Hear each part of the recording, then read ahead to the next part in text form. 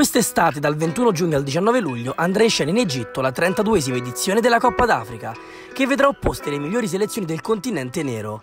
Dopo la parentesi mondiale in Russia, dove nessuna delle cinque nazionali presenti tra Tunisia, Marocco, Nigeria, Egitto e Senegal è riuscita a strappare il pass per la fase finale, sarà vitale per diverse compagini riscattarsi per poter ambire al titolo continentale. L'ultima edizione svoltasi in Gabon ha visto trionfare il Camerun, che ha superato per 2-1 l'Egitto di Cooper e Salah. In questa nuova, invece, molti vorranno mettersi in mostra e mettere in mostra il potenziale della loro rosa, sottolineando il passo in avanti del calcio africano, che in passato un certo Pelé aveva definito il calcio del futuro, anche se quel livello non è ancora stato raggiunto. Ora avremo la possibilità di vederci incroci bellissimi e rivalità storiche, con la curiosità di capire come le diverse squadre reggeranno la sfida con il caldo, essendo questa la prima competizione africana giocata d'estate. E quindi con Federico Meuti parliamo della guida alla Coppa d'Africa. Egitto. I padroni di casa quest'anno avranno l'obbligo di puntare alla vittoria finale della Coppa, sia per laurearsi campioni per l'ottava volta davanti ai propri tifosi, sia per coronare un lungo processo che procede da alcuni anni e che ha riportato l'Egitto ai vertici del calcio africano negli ultimi anni. Difatti Faraoni, grazie ad una delle generazioni più forti della storia, ha raggiunto traguardi importantissimi, come la finale del 2017 persa con il Camerun e l'accesso ai mondiali in Russia, terza partecipazione mondiale nella storia calcistica del paese. Ora i nordafricani avranno una grossa occasione per chiudere al meglio il ciclo guidato da Cooper, per far ottenere una svolta in termini di vittoria all'ombre vertical.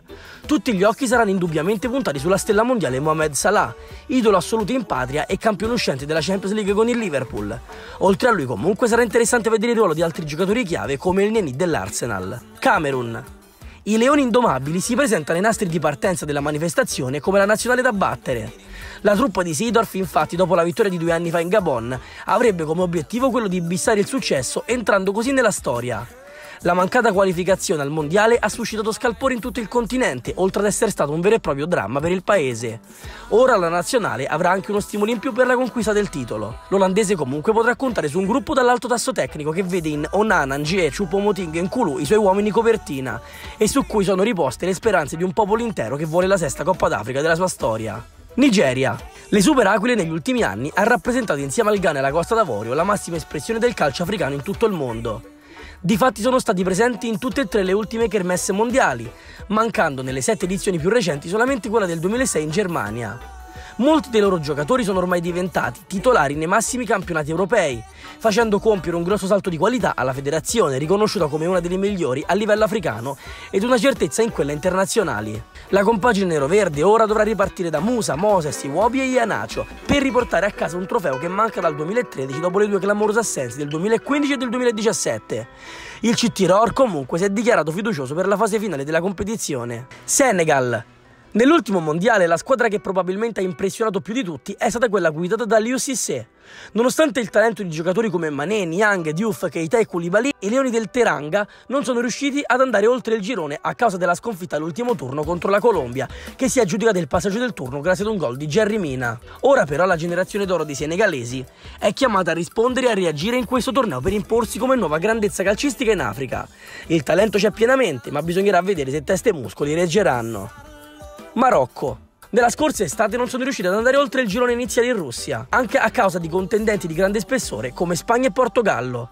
Nonostante ciò la nazionale marocchina ha messo in mostra un gioco spumeggiante e invidiabile, che non si vedeva da tempo per una squadra da poco sotto i grandi riflettori grazie ad un punto fisso sempre più determinante, Hakim Ziyech, Ziyech, Ziyech, magari. Il trequartista dell'Ajax quest'anno ha incantato tutti con una stagione fantascientifica in Olanda, che gli ha permesso di conquistare l'Eredivisie e di andare molto vicino alla finale di Champions League. Lo stile di gioco di Renard è ormai diventato un punto di riferimento in Africa dopo la conquista della Coppa nel 2015 con la Costa d'Avorio e le ottime prestazioni fornite dalla sua attuale squadra in Russia.